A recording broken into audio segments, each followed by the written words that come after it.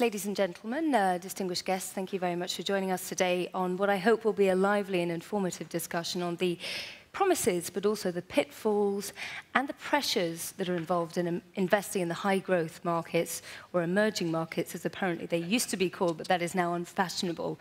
Um, last night, if, uh, for those of you who were present at the dinner, you'll have heard the German foreign minister extolling the virtues of the breakneck uh, pace of growth in the world's high growth markets, um, and also saying that, especially at a time like this, during a recession in Europe, we have a unique opportunity, and our companies have a unique opportunity to partner up with what he called the rising stars to stay relevant. Now, of course, investing in the world's emerging markets um, does deliver rewards, but it also presents significant risks, responsibilities, and alongside that goes the pressure for reform as well, and political upheaval, etc. Um, as such, companies that are looking for growth in these markets, they need to do their due diligence and they need to balance out these kind of forces alongside what is sometimes relentless pressure for growth from shareholders. So without further ado, I'm going to uh, introduce our panelists today. As you can see on my left here, we have Arif Naqvi from the Abraaj Group, CEO and also founder of the Abraaj Group. So um, he's obviously somebody who's extremely adept at telling us about the, uh, the space of emerging markets. He's also got great uh, experience as a veteran investor in the emerging markets world, but also from a corporate side, we have uh, um, Mr. Naguib Sawiris, uh, the chairman of Orascom Telecom, and um, Jonathan Oppenheimer over there, last but not least, on the other side of the panel, will be bringing us the commodities aspect as well, because that is key. And obviously, coming from South Africa, that's the latest member of the BRICS Club. Um, before we get started, I would also like to ask the audience to vote on two questions today. We'll start out with the first, and it is, would you invest in Arab Spring-afflicted countries today? So I'd like to ask you to vote on that. We'll bring out the uh, results of that in a moment's time. In the meantime, we'll start with you, Arif. You've been investing in the emerging market space for many, many years um, without making you feel Wait, I need to see this. Uh, we'll come to that in a second. um, it's great audience. that, that, is a ye- that is an almost overwhelmingly yes vote. Let's see whether it changes in a minute's time based on what you have to say. But you've been investing in the world's emerging markets for many times. Why, why would you say that the, the reward overrides the risks? So Look, I, uh, the first session that I sat through, the earlier one on global capitalism, the room was dark. Everybody was talking about the problems and issues. And I thought to myself, there must be something cheerful in this world, and that's what I've come to talk to you about. Because the first thing that I'm going to disagree with you about is this, what I consider, and forgive me for saying so, slightly patronizing term that says emerging markets. We've emerged. These markets exist, and these markets are going to drive and are going to be responsible for global growth in the coming years and decades. And that's why I and a lot of investors in those markets call them global growth markets, because two thirds of global growth is going to come from these markets. And the opportunity that exists there is actually very large. Now, of course, there are pitfalls, and you referred to risk. But being slightly provocative, you know, when uh, we look at financial models in the financial services industry and we see, decide what do we invest in and what do we not. There's always a premium that is attached to uh, investing in emerging markets or global growth markets. So there, there is a risk premium that's attached. But when risk came, it came from the heart of Wall Street. It came from within the endemic system, but nobody did anything to resolve the risk premiums that were being attracted by these so called markets, which in turn were becoming more and more driving the global economic landscape. So, in my opinion, when we sit and compare what's happening there with what's happening in the rest of the world, the driving force of the global economy, two thirds of global growth, and a whole series of trends that I can talk about that we see very clearly the demographic dividend of the youth population, the consumer classes, urbanization, all of these things that in turn are going to drive not just the global economy, but prosperity in these markets. Naguib Sawiris, you occupy a very, very interesting space in the sense that you're at the helm of large corporations that are involved in the emerging markets. Actually, they're, they're hugely important corporations in the emerging markets, like Orascom Telecom. But also, um, you're an emerging market player that has also invested in Europe, making major acquisitions here. How do you navigate that? Well, it, uh, if I can give you a story to summarize the emerging market, uh, I, I, am I'm currently a pessimist, but it's very difficult for me to be a pessimist because I mean I sit here, I made all my money in emerging markets, and here I come to tell people to vote no. You know, it's uh, it's a little bizarre, you know. But to answer your question, why I went to Europe, it's again to to mediate the, the, risk, you know. So if I, I, can tell you a short story which summarizes my experience in the emerging market. In 2002, I went to Algeria and I got a license. I bid for a mobile license, the first one, uh, for, and I put a price of $700 million. France Telecom was against me and they put a price of $400 million.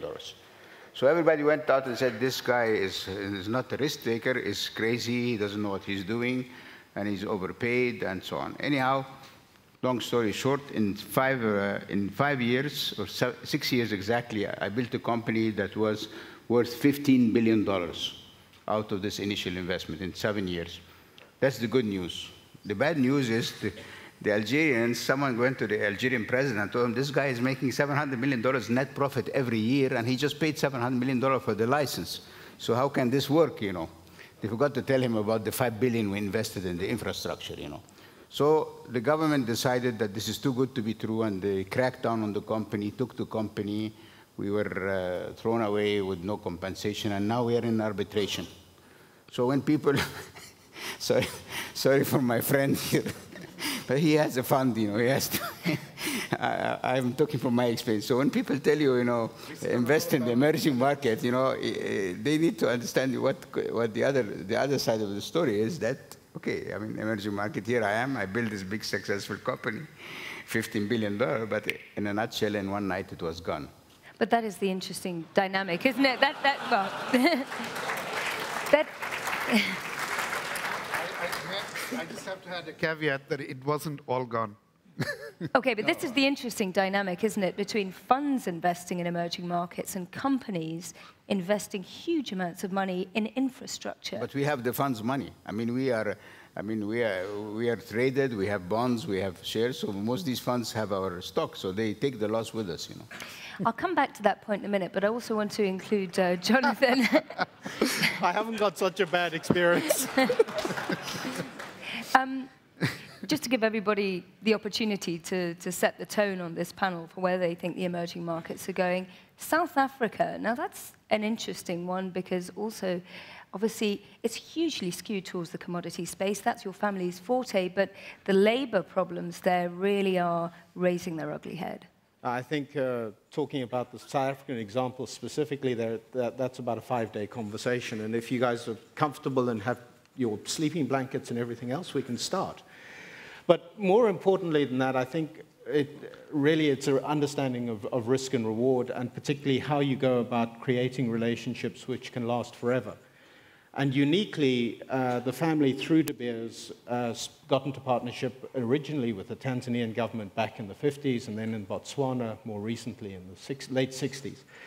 And we have a series of experiences which are critically finding sustainable relationships between both society, the political establishments in countries, and business.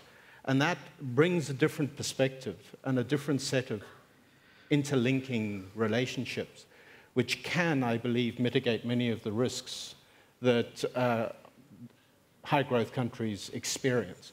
And it comes really around the backdrop of a lack of institutional capacity in most of these emerging countries, not for dint of anything other than that they're young. And where there is a lack of institutional capacity, the idea of relying on that institutional capacity to govern the relationship, a court or a set of regulations, the likes, isn't possible. And so you have to default back into how interpersonal relationships are built. And those are built on trust. And I'm always reminded of the most amusing statement that we use as, as part of family law, and that was Kenneth Kaunda saying to my grandfather way back in the 1970s shortly after he'd nationalized, similar experience to you, the copper belt in Zambia.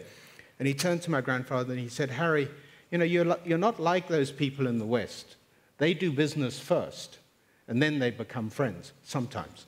Here in Africa, we become friends first, and then we do business. Mm. And I think the, the, the, dialogue for me around emerging markets or, or high growth markets is how you build that kind of friendship, how you build the relationships that mitigate all these external factors which can totally dr and dramatically change your business overnight. But what do you do, as for instance, we see in this question here, what do you do if those friendships don't matter anymore because those people aren't in power anymore?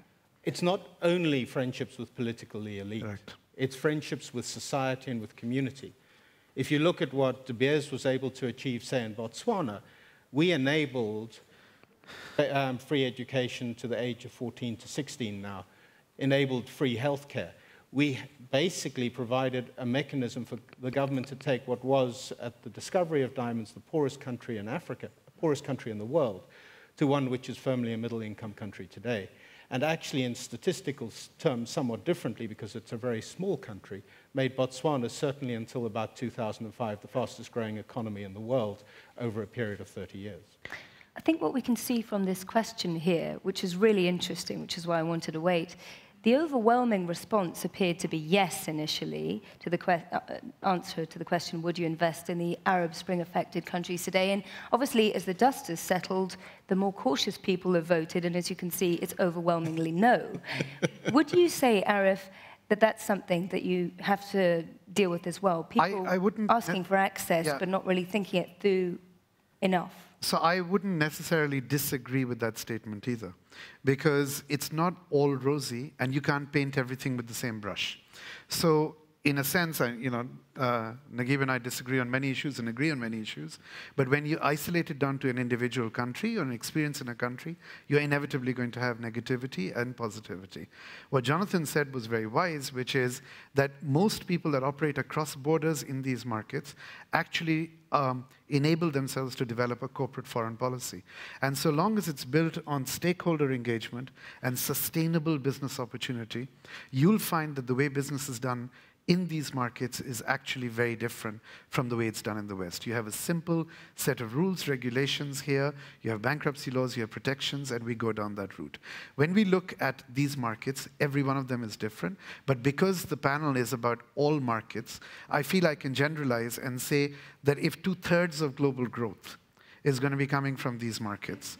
And these markets are growing at two or three times faster than developed markets. Look at where the wise investors are going. If you look at Coca-Cola, half of their global revenue is coming from these markets. Unilever is um, investing, now generating over 50% of their revenue from these markets. I'm glad you mentioned that actually, because that is another strategy in the emerging market space now does one actually invest directly in that emerging market or invest in big international players that already have access to it anyway, like, for instance, Coca-Cola? Where would you stand? So McKinsey actually did a study on this and came out with a conclusion that companies that are domiciled in these markets are actually growing much faster in turn than these multinationals that are investing in. There is absolutely no substitute to local knowledge. And even the multinational companies that are coming in are understanding that they need to be local in these markets and they need to understand these markets dramatically more. And when I say that the opportunity is there, I also look at a very simple fact that actually bewilders me, but it's a reality. We're moving into an environment where more than half of mankind, for the first time in its existence, is becoming urban. And most of that urbanization is happening in these growth markets. And people are moving into cities in these markets at the rate of a million people a week. That's eight New York cities a year. And all of these cities need more of everything. They need infrastructure, they need real estate, they need consumer products. You talked earlier about um, a simple thing about Africa being a resources story. Africa yeah. is actually a consumer product story. Yeah. It's a phenomenal consumer product story. The problem is a lot of people think of Africa as a recipient of aid. We need trade in Africa. We need investment in Africa.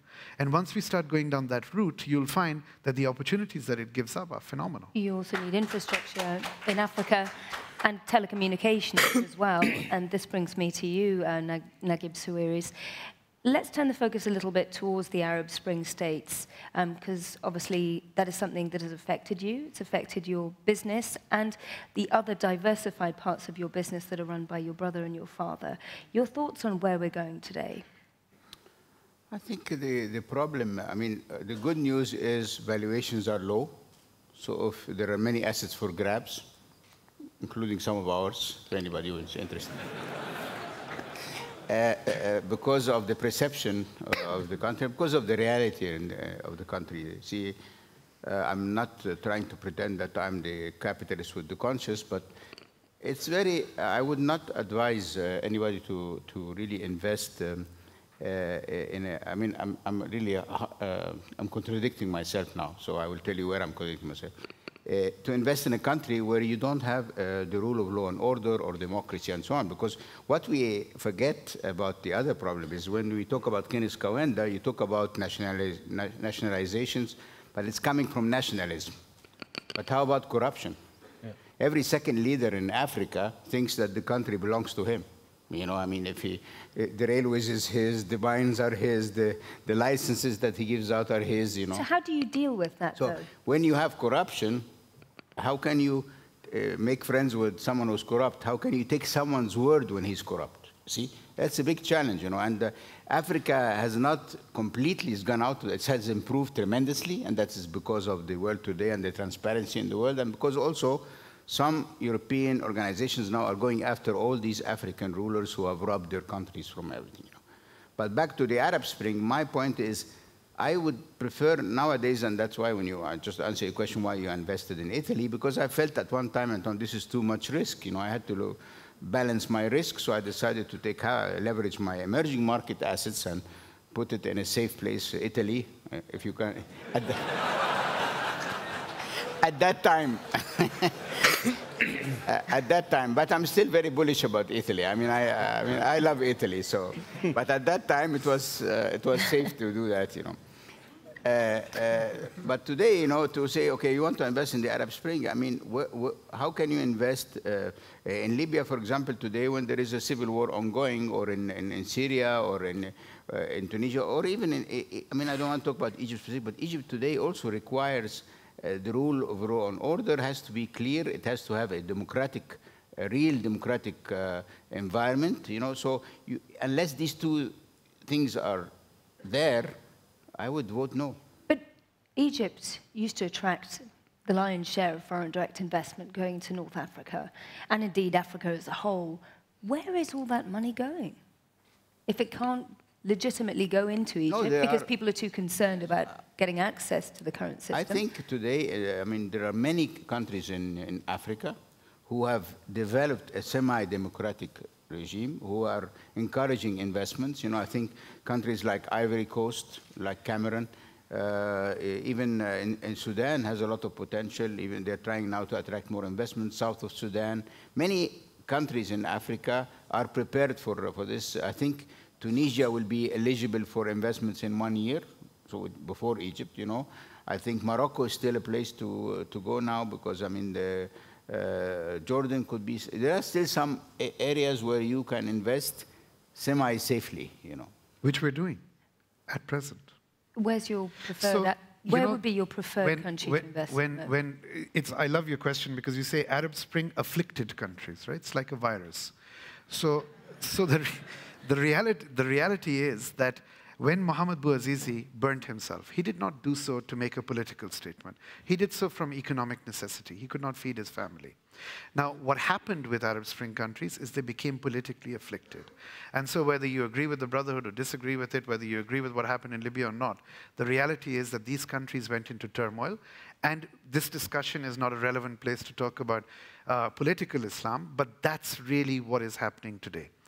Within Egypt, we have a lot of businesses in Egypt. In fact, I sit on Orascom Construction's board. And yes, there are issues where the government is victimizing. I know you can't say it, but I'll say it. The government. No, no, I can say. Right. So I'll say it. I'll say it even more clearly. The government is victimizing previously prosperous business people because they were uh, affected by what they considered to be um, another regime. But the real reality within Egypt is the economy is still in parts growing. We have businesses in Egypt. We have over a billion dollars invested there. And we see some of our businesses growing at 20 and 30 percent. Okay. Now, would I be putting new money into Egypt today? No, but then I similarly wouldn't be putting money into Syria or anywhere else. That comes to risk mitigation and sensible thinking. If a country is in turmoil, you don't do that.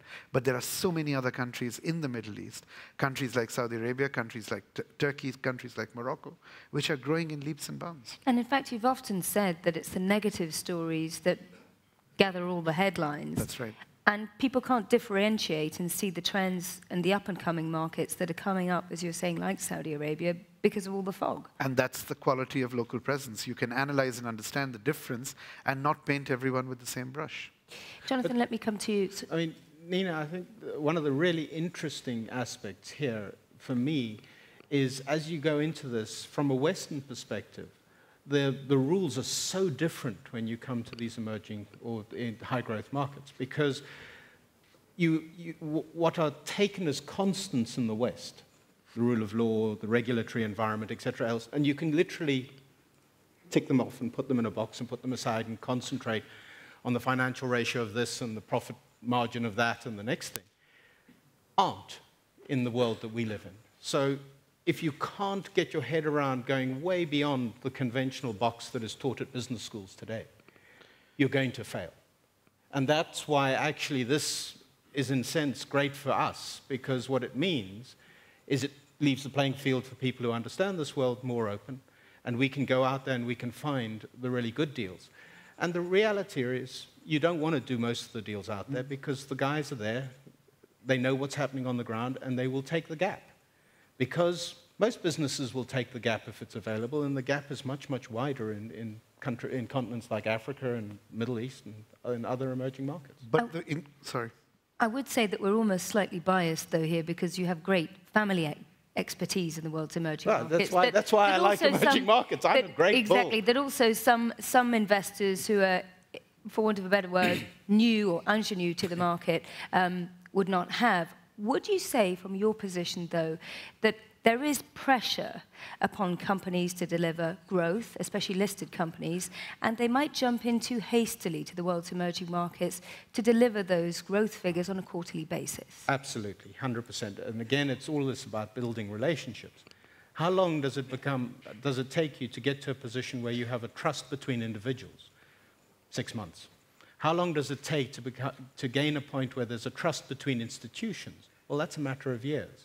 How can you make an investment without that level of trust? So look at the timeline of, an, of a meaningful and sustainable and successful investment in, say, an African country. And you're looking at a period of 18 to 36 months just in the setup.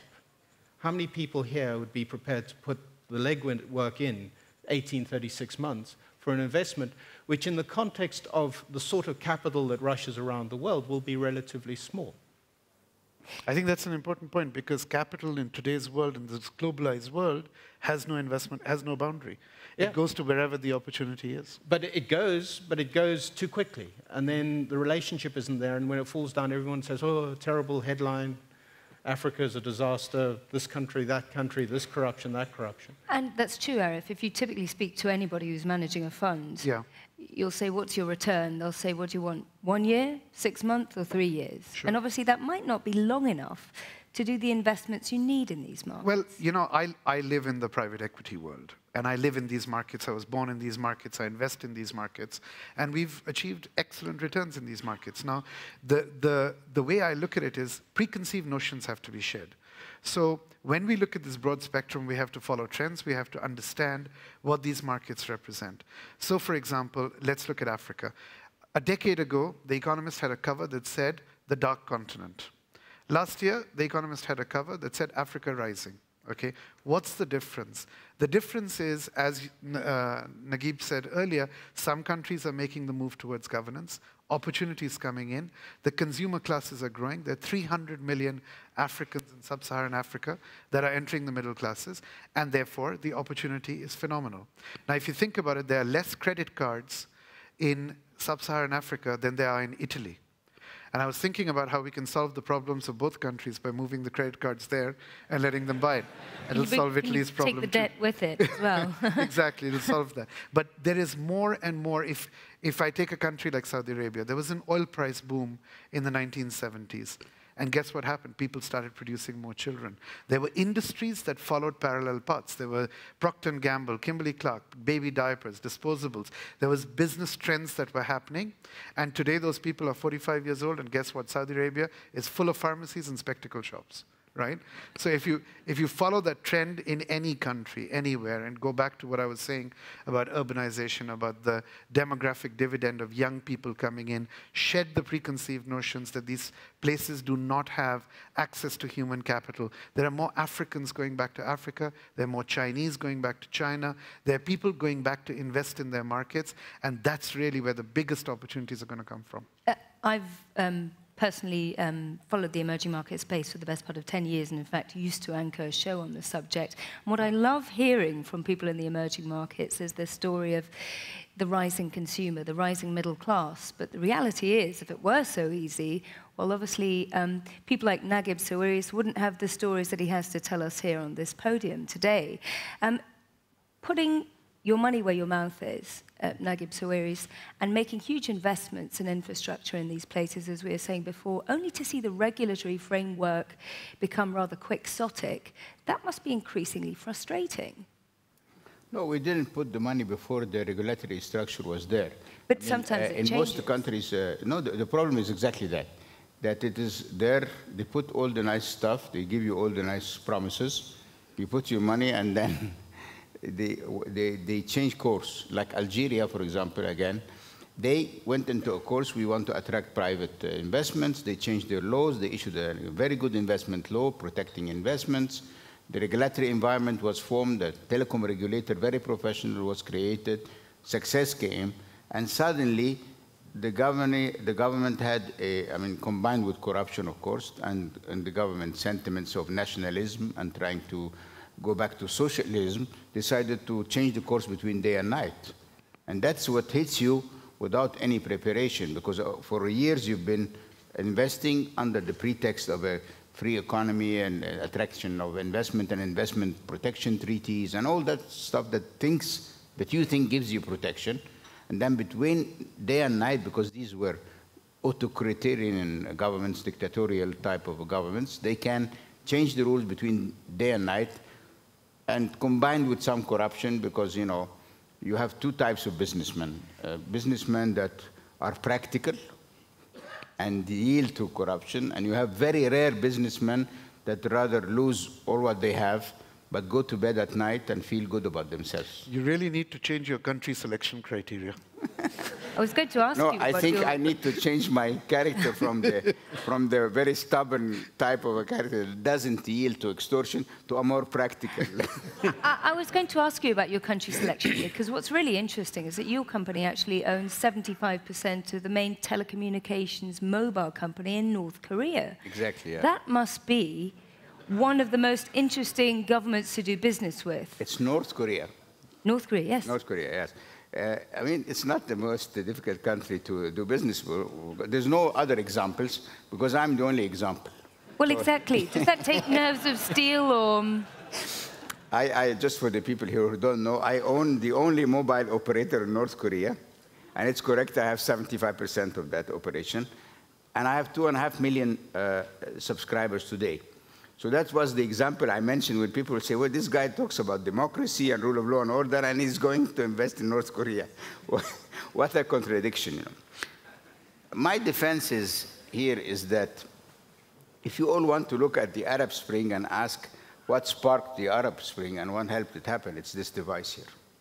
That's the freedom device. That's the device which we all used on 25 January to interact on Twitter and on Facebook and plan for a revolution, you know.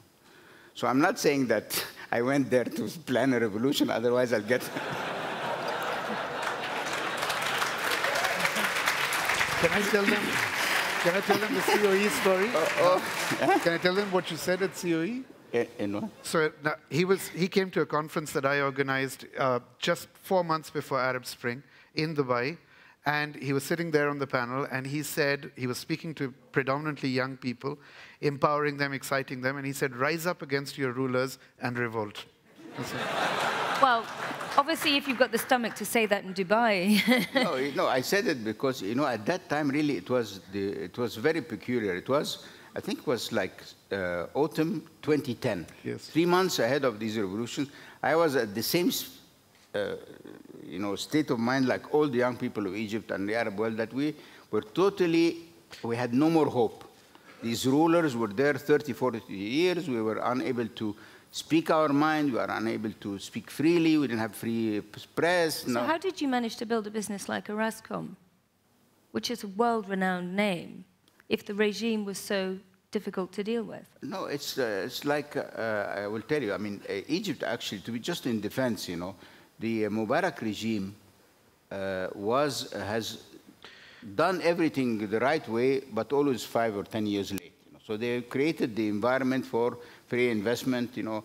I actually dare to say that the, this regime was one of the least corrupt regimes in the, in the region when you take it in relative sense. You know, like if you compare them to Mobutu Sese Seko or uh, Marcos from the Philippines or these guys like, I mean, but uh, so the environment was there, you know, uh, the open door policy was there, and we, we were able to, with a lot of difficulty, to, to work and invest and build the Orascom story. I mean, the, the thing is that it's difficult and very hard, but also the outcomes are uh, instrumental. I mean, uh, uh, you know, I, like my company was $18 billion worth, where I started with a capital of $60 million in seven years. So the, the rewards are very high, the risks are very high, and the, and, the, and the effort you need to put. My father has a very nice saying always. He says, if you make it in Egypt, you can make it anywhere.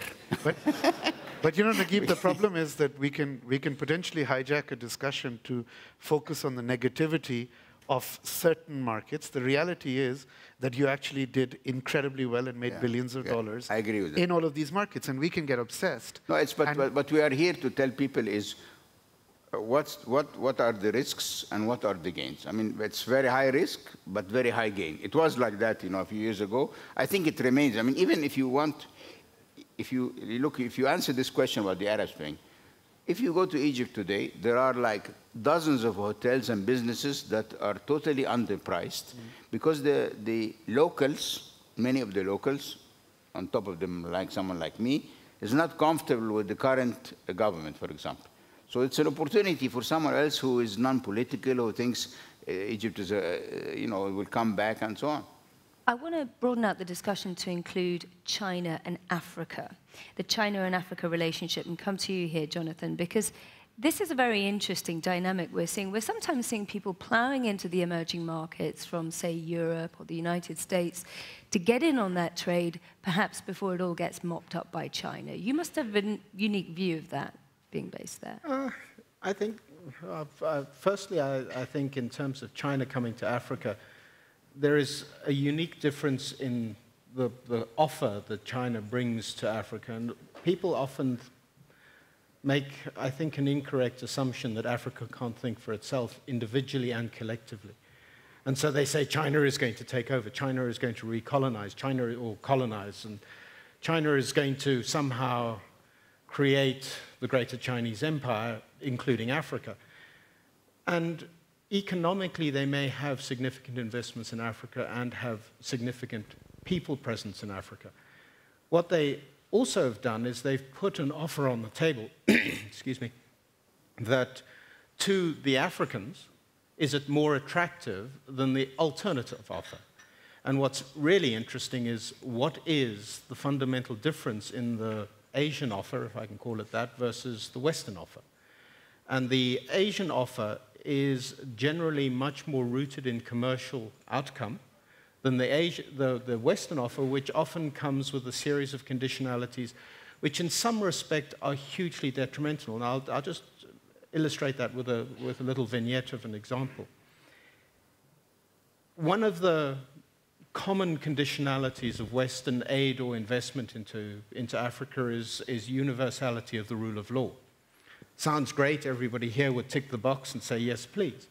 Let's just unpack what universality of the rule of law means in an African country.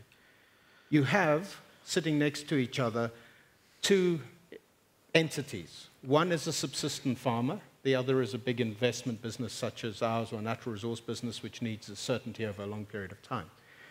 The subsistent farmer has kicked off his land. Universality of rule of law, even in a very effective system, would result in maybe 12 to 18 month justice, because that's how long it takes to make it work. Well, he doesn't care because he's dead, starved to death. By contrast, if you start addressing the needs of that subsistent farmer, which is a very speedy form of justice, the big business who want to invest hundreds, if not billions of dollars, needs long term certainty and a process and a security around it. The two cannot coexist. So if you come as a Westerner and say, here's my money, but these are the conditions attached, what you're doing is setting up a distinct and inevitable failure mode and actually, as the government in an African country, you look at that and you say, thank you very much, I don't want that money. Mm. Aren't you already, though, being involved, heavily involved in the commodity space, though, intrinsically involved in a similar sort of dynamic with the Chinese economy now showing signs of cooling, that it needs less, fewer natural resources? um, aren't you already, especially if you look at your company and your company's holdings, already part of that dynamic? Uh, in the cycle, perhaps, but the reality is the global population is growing, global consumer base is growing, and we're going to need more natural resource in the medium to long term. If you take a view which isn't quarter based, annually based, but instead take a 10, 15 year view, then I think so long as you position yourself in world class resources and have the necessary relationships, and critically, those relationships are not exclusively political, they are with the community as well such that you can have what I like to call a social contract to operate and a political contract to operate geographically, then you can live through this cycle and you will make good money. Yeah. Naguib? Just uh, because I'm in natural resources too now, by chance. the, uh, people don't know that if you are going to go like into the mining business, from the day you identify a mine until you really produce an ore, it's five to seven years. Well, that's, that's quick. That's quick. So uh, when people talk about uh, that, imagine, you, imagine that this, seven, this specific mine production is needed in the world context of use. You're seven years without the resource because it takes seven years to get that resource out. So, uh, I mean, the, the problem with this business is that you need really uh, long sustainability I mean, in our telecom, I mean, I, I, I actually really would love to go back to my original business, which is the telecom. You know, when I went into resources, I said, oh my God, I didn't know that. Join the club. In telecom, after six months, we used to put the network and we hear the money coming in after six months, you know, because everybody takes their phone and the money starts coming in, you know. In this business, you know, you start working like for seven years until you feel the first output. Eh, so if you're like an impatient person like me, who likes to see fast success, you know, it's not really, uh, so, so you shouldn't worry about that business being not needed so, because the, the time it takes is very long, and with a lot of disruptions, because let's say you sign a mining uh, uh, agreement with one government, uh, within seven years in, in Africa, with the coup d'etats and all these changes, you know, you're out for three governments in between. Speaking of patience, our audience has been very patient, and I'm sure a lot of them have questions for you. Let me start by taking two or three questions. Can I ask you to identify yourselves, obviously, and also say who you're directing your questions to on the panel. Um, first man over there with the striped tie and his hand up. Okay, so let's see whether we have a microphone for gentleman here in the front. A microphone's just coming for you behind there. Good morning. Thank you for the panel. It was very interesting debate. Uh, I'm a little bit worried about what I listen here. I listen kind of like a selfish uh, way of thinking, uh, backwards, I would say, because now we're in different times. I hear you saying, oh, I want to go to this uh, country to invest and to see what I can get but I don't hear anything about what I can give to these countries. And I think this is extremely important. You have such an enormous power to make a change in these countries. And if you don't do so, you're not only affecting the country itself, but you're affecting your investments. As you said, uh, for example, what happened to you is the classic example. In a country where the people are not empowered, then dictators become in power, and then they can do what they did to your company, right? So how to avoid that, how to think further and be more responsible in the communities you work with. I would like to hear your thoughts about it. Thank you. Okay, we'll take that question first. Let's take a, a, another question. There's a gentleman over there, a hand in the back. Thank you.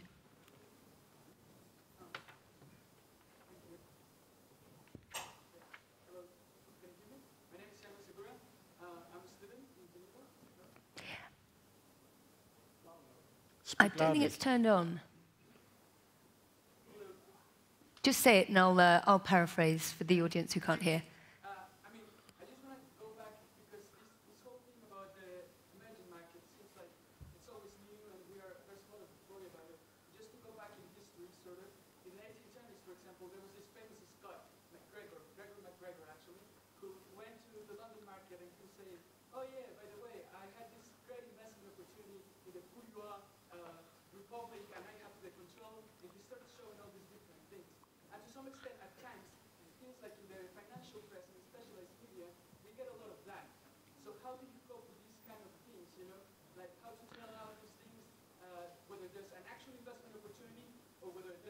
There is not, uh, besides obviously having people on the ground and how to tell out what the real returns are for these and for the consumers as well of these financial instruments. Okay, thank you. And then one final question here in the front. Thanks.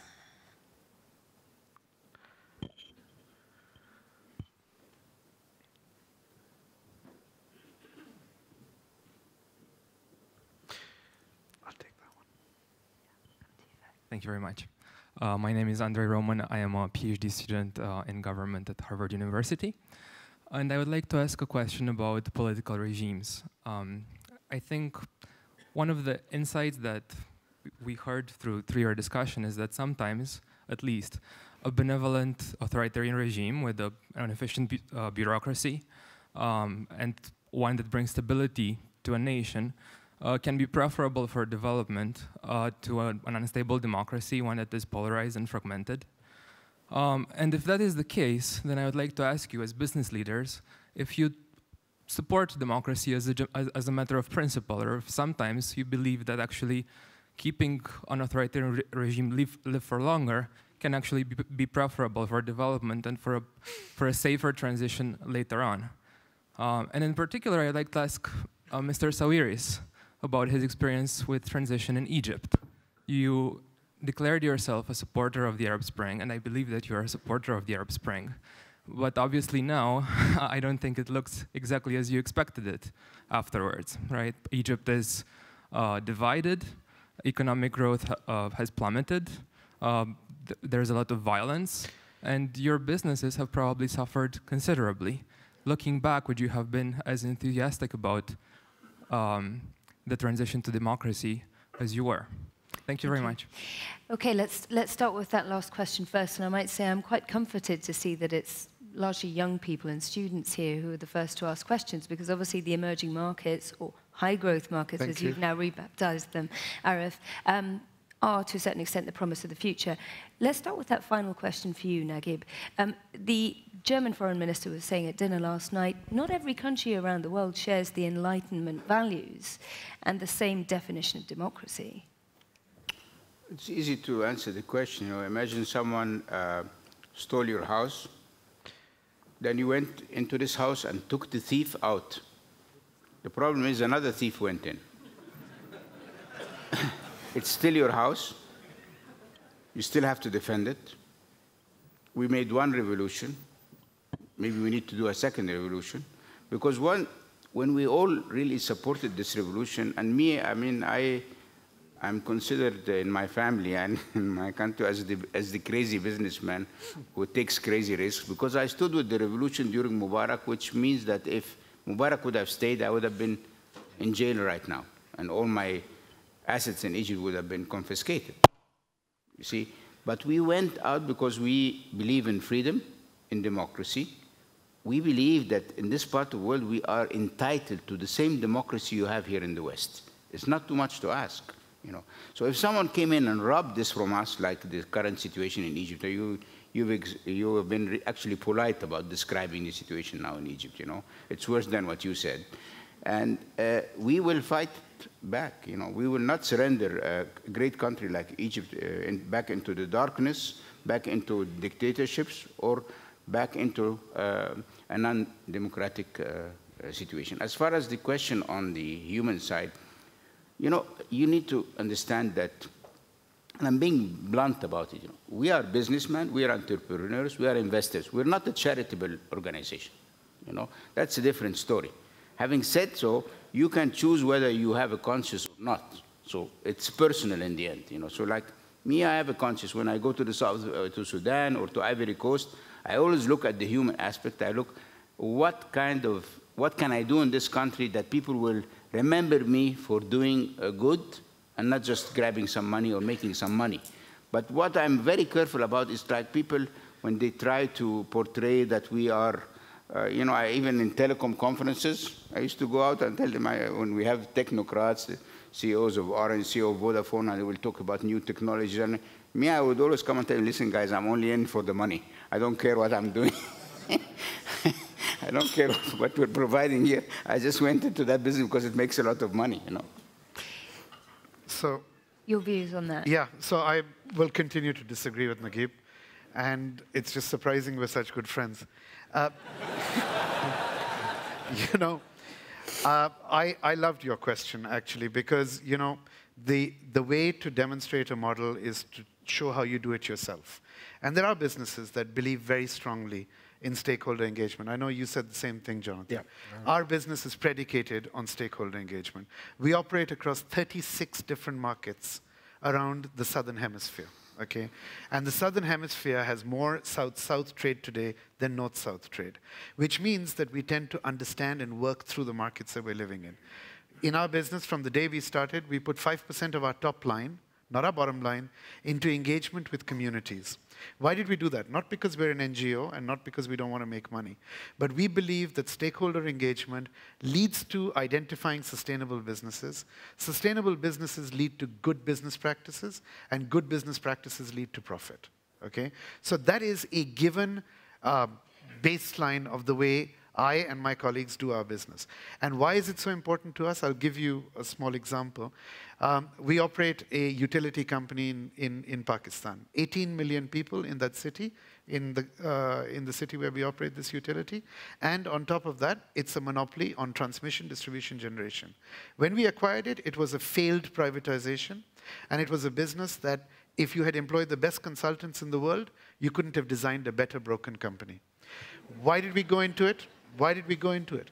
Because we said we'll make the money because we were buying it at a million dollars a megawatt. A thousand megawatts, a billion dollars. Simple math. But the real reality was if you could change that and go from a company that was experiencing 18 hours of load shed a day, reduce that, you can change an economy, you can change the way people think. In the course of doing that, we identified that that city had the largest cattle colony in the world inside an urban environment. We set up the world's largest biogas plant that produces electricity, and powers the rickshaws, so it removes the kerosene, and produces organic fertilizer. We didn't need to do that. But by doing that, we changed the mentality of the consumer to say this company cares. This is one example. I can give you another hundred.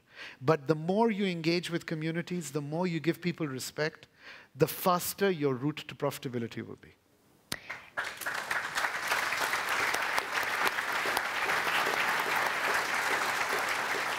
Jonathan, how do you avoid that selfish gene, if you like, from showing its face? And then I'd also like you, like you to answer the question that was posed there on that side of the room, which, for those who couldn't hear it, essentially, if I got it right, um, was, is the emerging market really a new thing? Surely we've seen markets like, for instance, Europe after the Second World War behave like emerging markets. Is it not just a cycle? I, lots, lots of different questions, and, and fundamentally, really, two answers. In terms of democracy, the idea of community I totally support, and community representation. Through a conventional democratic process, I think the jury is out. Um, I look at the Western democratic model, and I can see certain things in it which I don't like. I can look at other democratic or pseudo-democratic models where I do see things that I like, and I think we need to think about actually a new paradigm in terms of how do we get community representation. And that leads really to the second part and to, uh, in a sense, the first question that was asked about contribution back. And that is if you don't have a sustainable co social contract to operate, political contract to operate. You cannot exist in the medium to long term in, a, in an environment where there aren't ruthless regulations to hold your legitimacy. In the West, you have that ruthless regulation. You have a hundred year history of the rule of law. You have bankruptcy protections. You have protections for the corporate entity. There is a weight. How many of you here are lawyers? Before I embarrass myself wholly. Nobody's putting up their hands. There has Nobody to be a lawyer in the room. anyway, but the legal profession has made itself indispensable to the way the Western business works. In emerging countries, those institutions just don't have the robustness, don't have the strength to be able to allow corporates to act within a set of, of, of defined paradigms, defined rules. Instead, in Africa or any high growth market, emerging market where there isn't that sort of institution, you have to build a relationship so that you can operate. And that relationship reaches into the community, that relationship reaches into the political structures, otherwise, you get nationalized. And that, in turn, leads to a, a virtuous circle of reinforcing and uplifting and then creating a new market for yourself because you bring consumers in because everybody's more prosperous. And to just sort of put a little full stop on the end of that, interestingly, in 1954, my great grandfather said in an Anglo American, which he, he, had founded and, and was chairman of, uh, annual statement, We're here to make a profit. Problems to your concern. But then he caveated it a profit in such a way as to benefit the peoples and communities with whom we operate. And I still haven't found a better description of the triple bottom line. In terms of emerging markets, my fundamental view is if you're a FAR and you don't know what you're investing in, you're a fool. So an emerging market is frankly a market which you have to go and visit, you have to get to know, and then you can make money in it. You can't sit in New York yes. and pour the money over the fence and hope to God that it's going to work. It might work for the first six months, but not for the first six years. And it may work in certain strategies, but not in all strategies. If you're going to invest into markets, you need to be in the markets. Well, I'm glad we touched on investing in the markets and particularly the emerging markets from afar, because I want to now ask you to vote on our second question of the day, and it is very apt, given what you've just said, Jonathan. Is it still financially rewarding to invest in the world's emerging markets? So if we can change that live voting panel, please, to the second question. Can I influence the outcome before they answer it? I'm, I'm, sure that in the financial world you're not allowed to do that, even in the emerging markets. Now, um, when we get a chance to put that question up, I'd like to ask you to vote on that, because that would very much help to crystallize our, our thoughts on, on what we've said today. Um, I do want to ask you as well, um, Arif, about the, just going back to the whole intra-emerging markets trade. Mm. You're an interesting one because obviously you're based out in the Middle East. Would you classify yourself as, say, a Western company investing in the emerging markets or an intra-emerging market trade now? So, so we have six hubs. We're not just based in the Middle East. We're based in Latin America, we're based in Africa and Southeast Asia and so on. Now, we do treat ourselves as being a clear example of governance and transparency and quality. So we apply the best practices that we can find from around the world. We voluntarily went and got ourselves regulated. Um, and the private equity industry is not known for that. But what we did is we said we need to be whiter than white because we're starting a new industry in these markets. We were in the vanguard of that industry starting uh, back in the day. So for us, it's very important that we do things right. It's very important to measure risk. But somebody in the earlier panel said something very interesting, which is risk is all about self-regulation as well, right? And, and if you do that right, then you create an organization that has it embedded in its values. If you don't, then you have an outcome, which I remember Joe Ackermann said once in, and I, I, I, told you I'd bring it up. In 2008, we were on a panel, 2009, and he was a big proponent in regulating, in enhancing regulation. And he said, our biggest issue is that we're all guilty of greed. We've been guilty of greed for the last 10 years, and that is something that you can't regulate away, even with self-regulation. But that's not answering the question. It Are did. you an emerging market? Do you market yourselves as an emerging market fund with local expertise, or do you market yourself as to people who you're raising funds for, for your private equity investments, as, say, like another, I don't know, Apex partner, but just with a special investment focus on the emerging markets? I don't, well, I didn't answer it because I don't think people particularly want to hear about just my company. But if you insist on me doing that, I hate talking about ourselves. But the reality is that we operate on a footprint that is across all these markets. And we do it to best in class standards.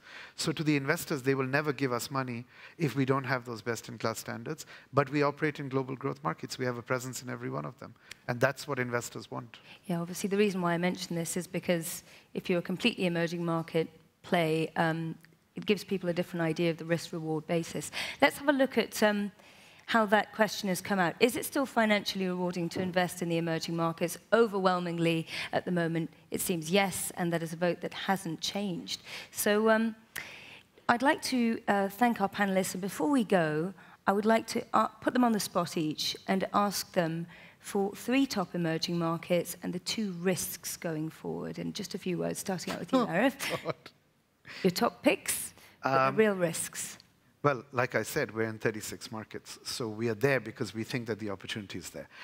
In South America, I prefer investing in Peru, Colombia, Chile, and Mexico than I do in Brazil. Because the simple reason that Brazil is overregulated, it's ego driven, too much money chasing too many deals. That's where I invest.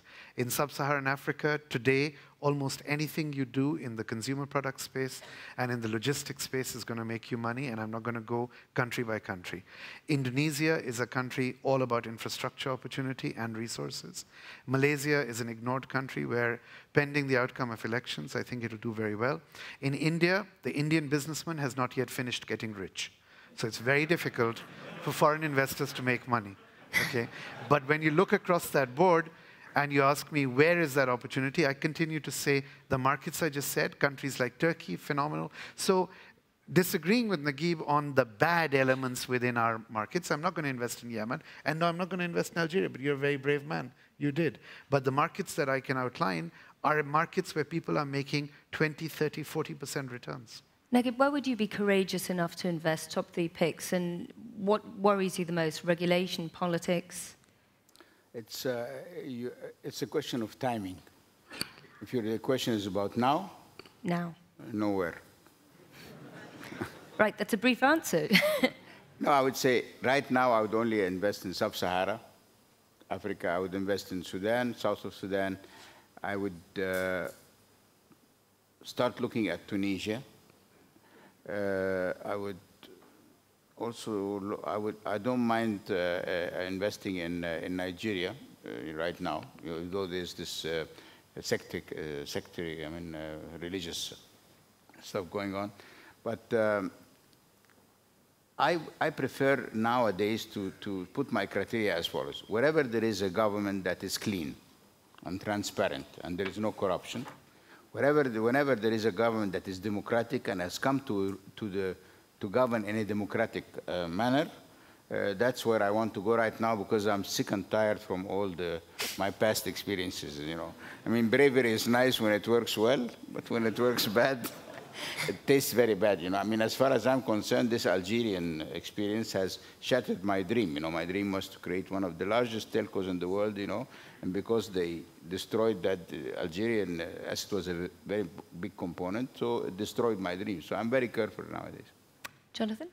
It's a, it's a difficult one. It would be much easier to say where I didn't want to invest. And I think in some respects... Sure, that would get a longer answer, wouldn't it? It's a longer answer, but it's interesting because actually thinking about the negative is perhaps more interesting than thinking about the positive.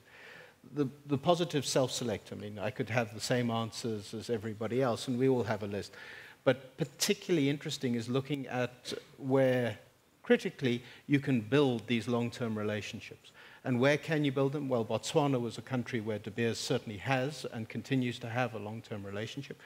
I believe that Mozambique is on the up and up in my own sort of domestic patch. Angola looks interesting. Nigeria, to me, is an interesting one away from the oil sector. Uh, I know Africa better than most, but I would also argue that uh, emerging countries in the Middle East and also in Eastern Europe are, are very interesting. And, and so we, can, we, can, we can spend a lot of time finding a lot of opportunities, but again, it will be determined by the asset and the relationships you can have. Unilever as a group is one of the largest consumer product companies in the world, 19 out of the 20 factories it's building today are in global growth markets. Yeah, you mentioned that before. Um, I'd like to thank our guests here. Um, you got it. I right? get your point. um, I'd like to thank our guests here, though, for a, what was billed as a lively and informative debate. It certainly was. Thank you very much, gentlemen. Um, and I think what we've learned from the outshot also of these two sessions of live voting is that, yes, overwhelmingly people do want to invest in the emerging markets, but obviously the risky ones, such as, for instance, the Arab Spring, affected, not afflicted countries, um, present far more risks as well for people to contemplate, and so the vote was split on that. Thank you very much, gentlemen, for being here today.